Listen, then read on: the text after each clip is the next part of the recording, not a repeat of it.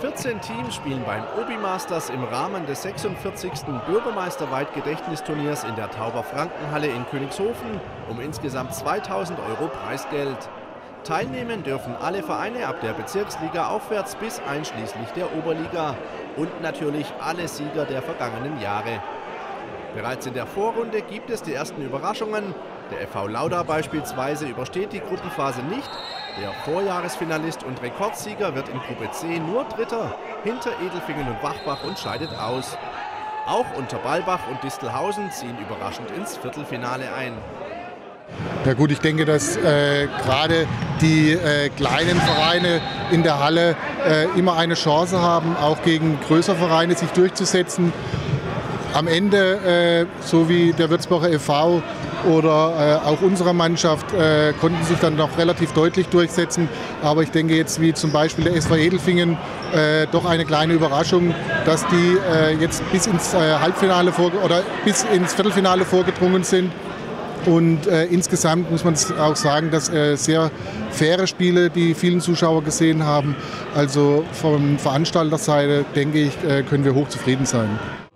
Der Würzburger e.V. ist als Bayernligist der Favorit, Titelverteidiger Hollenbach fehlt diesmal.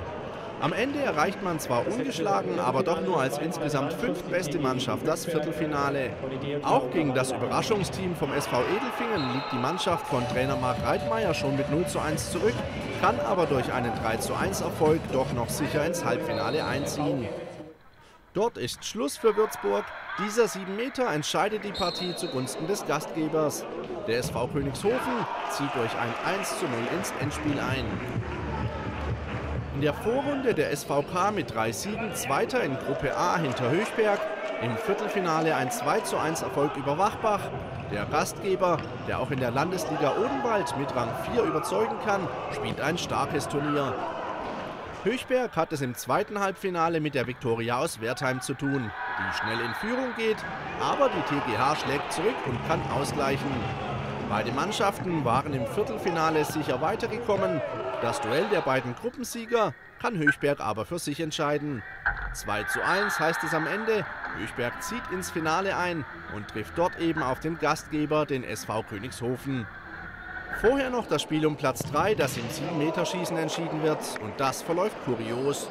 Bei den ersten fünf Schützen verschießt je ein Spieler vom Würzburger e.V. und von der Viktoria Wertheim. In der zweiten Runde treffen alle zehn Schützen. Am Ende ist es dann erst der 30. Schuss, der diese Partie entscheidet. Fast El Tahir vom WEV zu locker, scheitert bei seinem dritten Versuch, Würzburg also Vierter. Wertheim kommt immerhin noch aufs Treppchen.